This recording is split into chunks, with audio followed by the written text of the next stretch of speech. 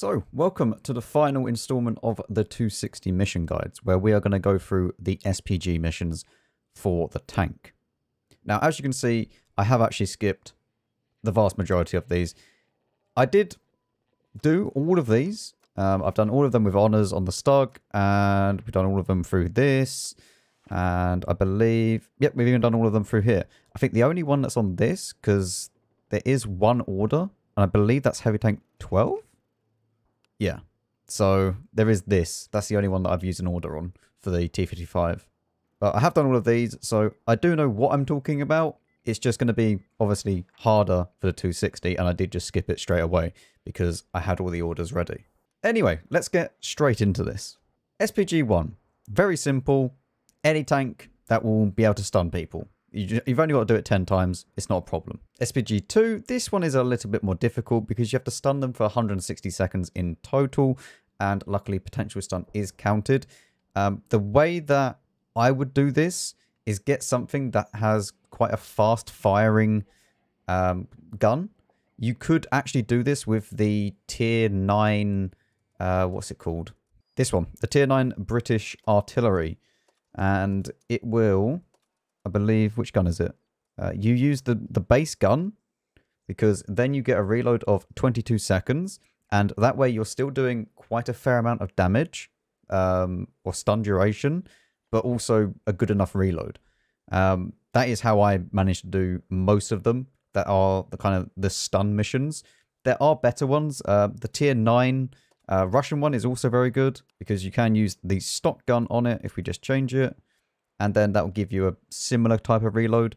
But the tier 9 British one is what I'd recommend. Obviously, you could go all the way down and choose like an M44, but at higher tier, you're going to get more potential stun. So the better that your chances are of doing 160 seconds.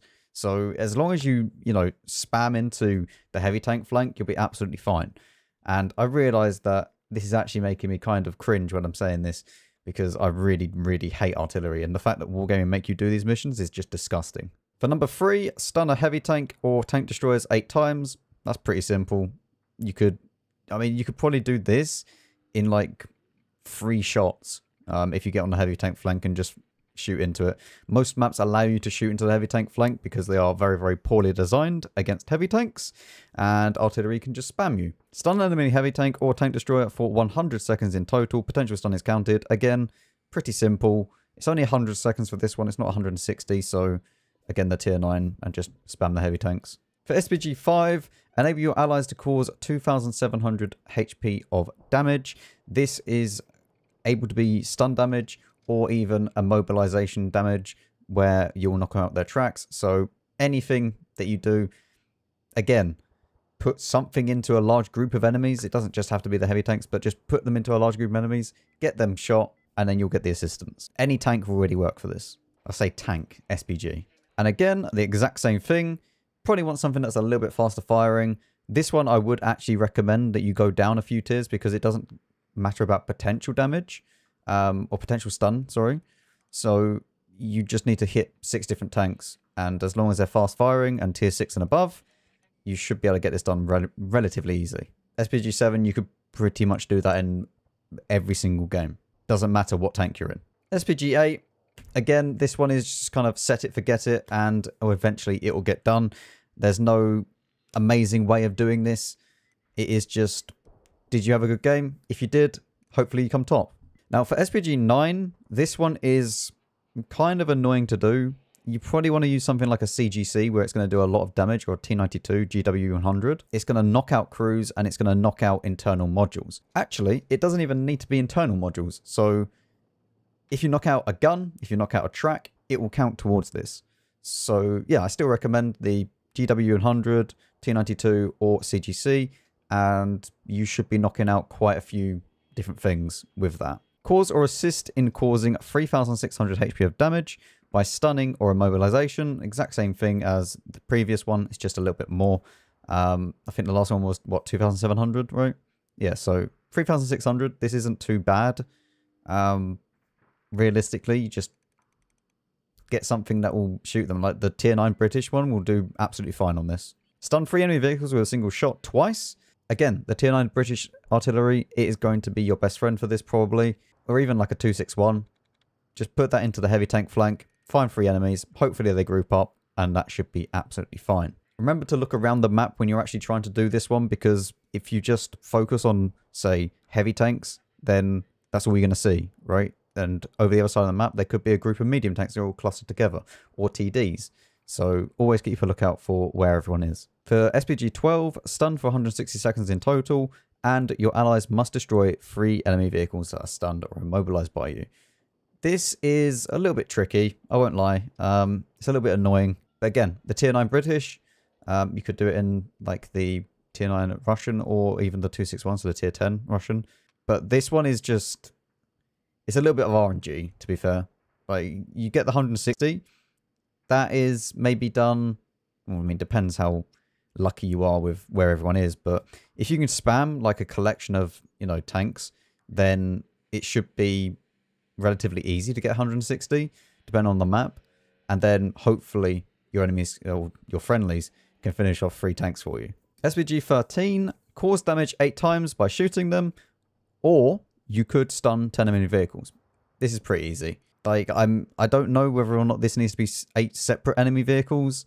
I don't know, but either way, even if it's eight different vehicles, it's not too bad on an SPG because you can, you know, fire across a large uh, variety of uh, vehicles. So you have to let me know if this one is um, just by shooting like one person eight times or if it's actually eight separate people. If it's eight separate people, again, it's a little bit harder, but not impossible. Um, but if it's just eight times, then that's very, very easy.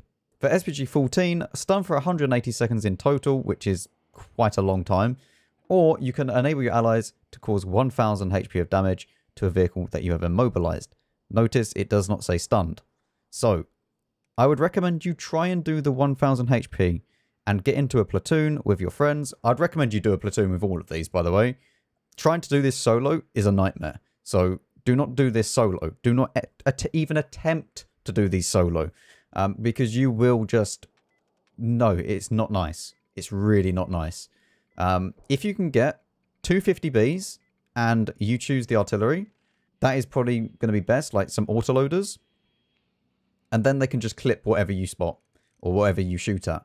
So if the, if you can uh, immobilize him, then they shoot. That's easy, 1000 damage done.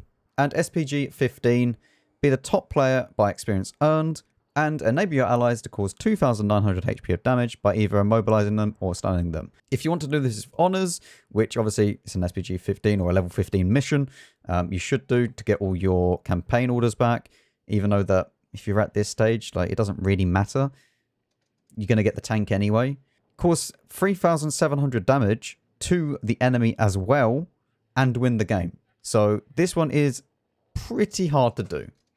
Tier 10 is your best friend, and probably something like a CGC is going to be the best because it does have that massive gun arc, and you you're not really slow, but you're mobile you're mobile enough to get around the map a little bit more.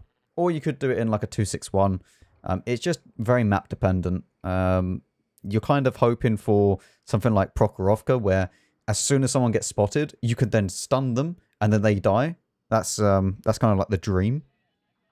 Or you want something maybe like Erlenberg where where you can just spam the the kind of city area or even at the very back. Anyway, I just done all of that in 13 minutes. You can tell that I really love SPGs. Um, but realistically, the SPG missions aren't too bad, right? They are not too difficult. It's just you have to play a lot of games and get the right map and then you can complete it. And that's the biggest issue with the SPGs is that Wargaming forces you to play SPGs even if you hate them like I do.